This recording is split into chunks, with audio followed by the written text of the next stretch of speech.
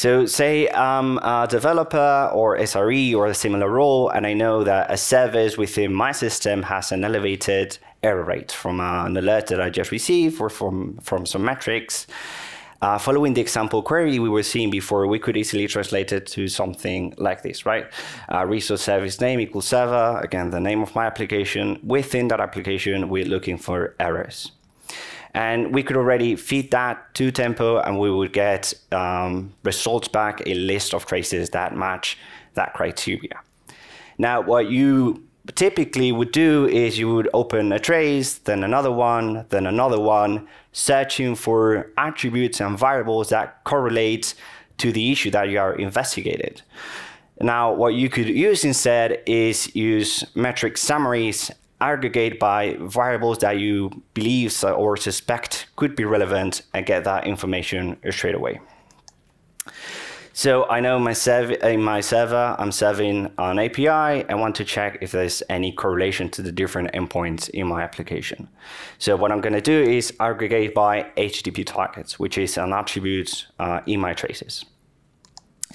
If I do that, I will get a table like this one, uh, which contains a summary of my tracing data aggregated by that very uh, variable that I passed.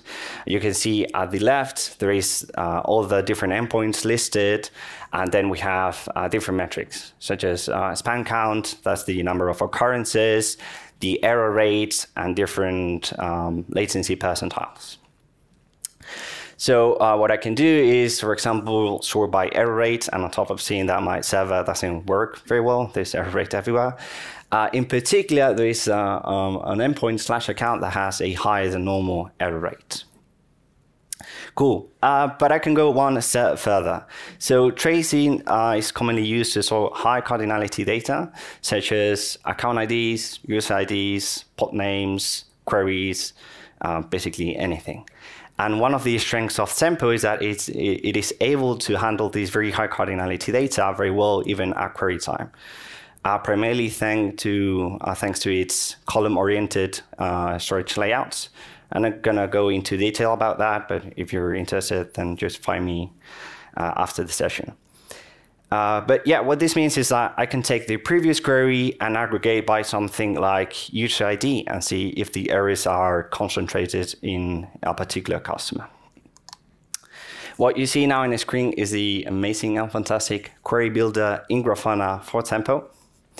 What I'm doing at the top is selecting the um, name of my application I want to filter by, and immediately I get a trace query at the bottom. So this is a great introduction to uh, the language for anyone unfamiliar with it.